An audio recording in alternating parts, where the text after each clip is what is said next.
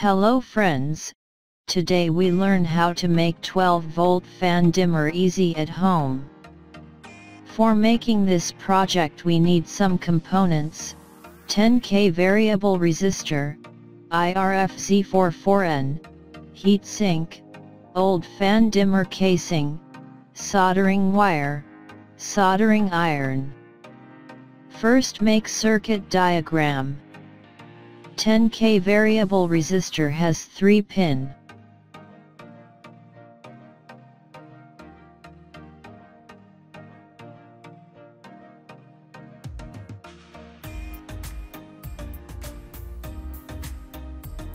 Connect second pin of variable resistor with first pin of MOSFET. Now second pin of MOSFET connect with third pin of variable resistor, third pin of MOSFET use for positive output.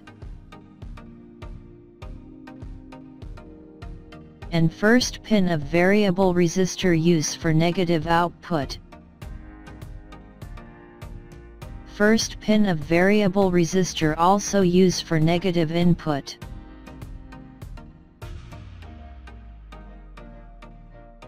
And second pin of MOSFET use for positive input.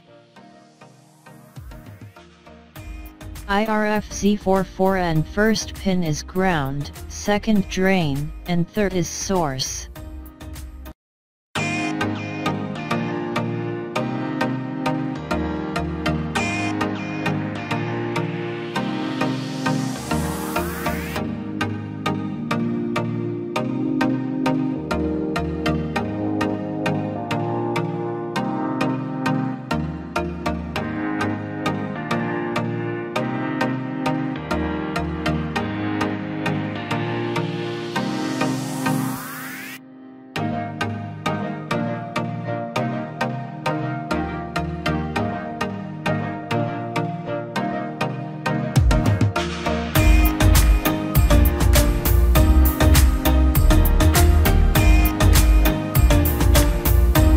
Project is ready for test.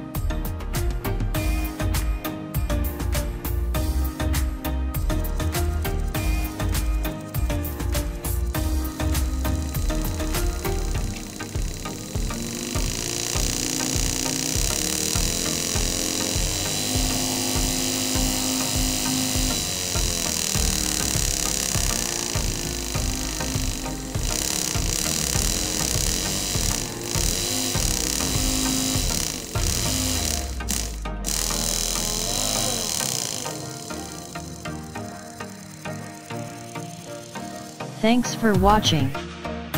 If you like our videos so please tell in comments. And don't forget to subscribe our channel.